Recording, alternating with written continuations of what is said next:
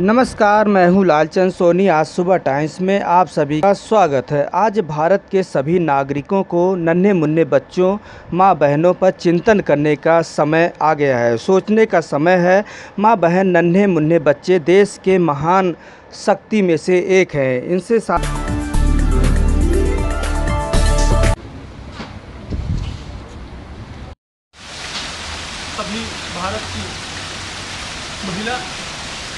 नारी शक्ति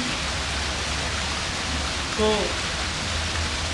वंदन करता हूँ, नमन करता हूँ। इसके साथ साथ हम, हमारा जो देश है, यत्र नार्यस्तु पूज्यंते रमनते तत्र जब यह भारतवर्ष बना, तभी यह हुआ कि जहाँ नारी की पूजा होती है, वहीं भारत निवास करता है। बिना स्त्री शक्ति के बिना यहाँ तक कि हमारे शरीर में जो हमारी एनर्जी है पावर है, जो शक्ति है, वह शक्ति ही नारी है।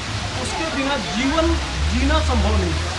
तो मानव का अस्तित्व ही नारी के बिना नहीं है, और उस नारी का महत्व अगर हम एक गलत दायरे से देखते हैं, उसको उपभोग की वस्तु समझते हैं, उसका अपना घरेलू संसाधन जब समझते हैं तो ये हमारे सोच को दर्शाता है कि हम कहीं ना कहीं भारतीय सभ्यता और संस्कृति से दूर हो रहे हैं।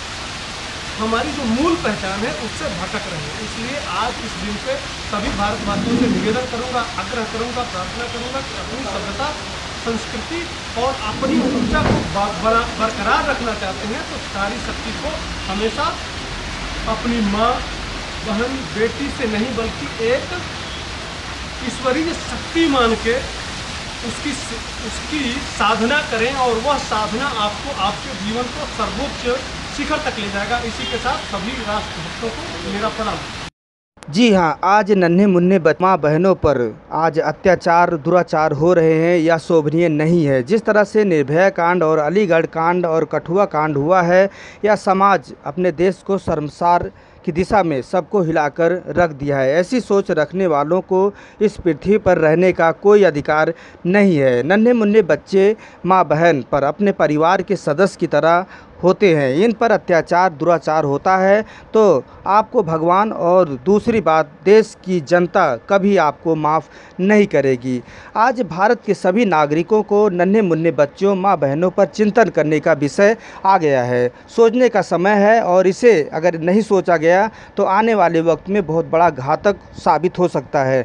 नन्हे मुन्ने बच्चे आज महान शक्ति हैं। इन्हें खोने नहीं दिया जाएगा। सब समाज कर्तव्य बनाने के लिए हम सभी को आगे आने की बहुत ज़रूरी है। आज देखा जा रहा है कि शिक्षा के बारे में लोग अत्याधिक समाज आगे बढ़ रहा है। वहीं पर सोच भी कहीं ना कहीं पीछे की तरफ़ ढकेल रहा है। इसलिए लड़का हो या लड़की, सभी को आज़ादी होनी चाहिए। बात करने की आज़ादी, सोचने की आज़ादी, अफसर बनने की आज़ादी पर परिवार में जीने की आज़ादी, नई दिशा देने की आज़ादी। माँ, बहन, नन्हे मुन्ने बच्चों, समाज, परिवार को संभालती है। फूलों की तरह समाज को खिलती है और सींचती है। यदि माँ, बहन, नन्हे मुन्ने बच्चों पर अत्याचार, घिनौना, हरकत होगा तो दुनिया खत्म हो जाएगी।